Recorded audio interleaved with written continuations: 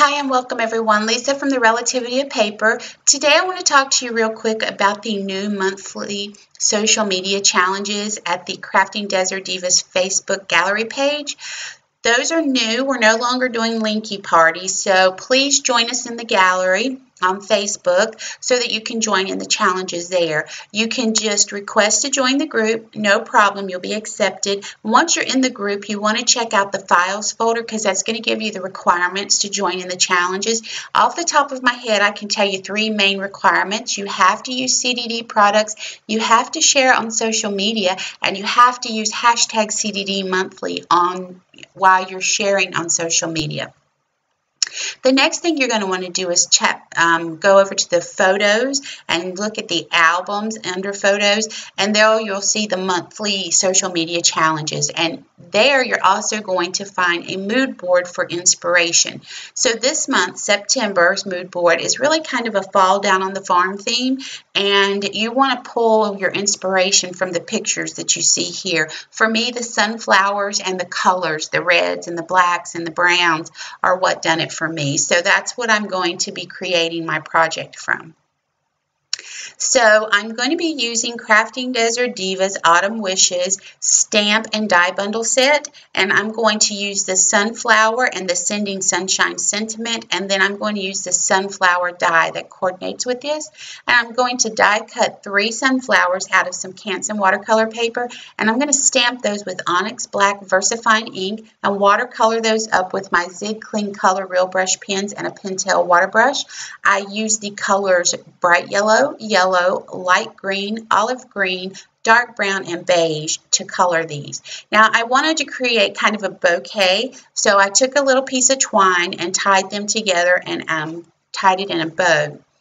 Then I decided on my colors of my papers. So I'm using an 8.5 by 11 inch piece of 110 pound white cardstock from Michaels. I've scored that at 5.5 inches and cut it at 4.25 inches to create two top tent fold cards.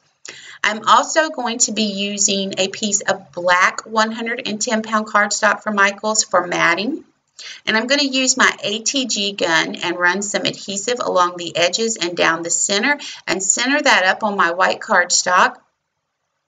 And then I'm going to be taking some Kaisercraft journaling paper that I picked up at Joann's to create another layer and I use the Craftin Desert Divas fancy frame dies to die cut this layer out.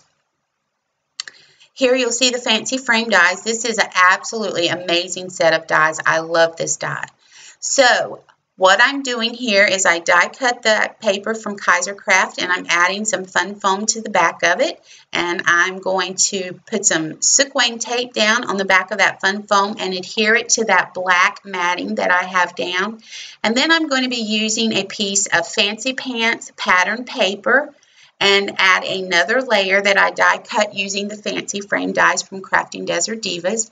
So then what I wanted to do was pop those sunflowers up. So I'm using some scrapbook 3D square foam adhesives and I purchased those from Craftin Desert Divas and I'll be sure to link all this stuff for you.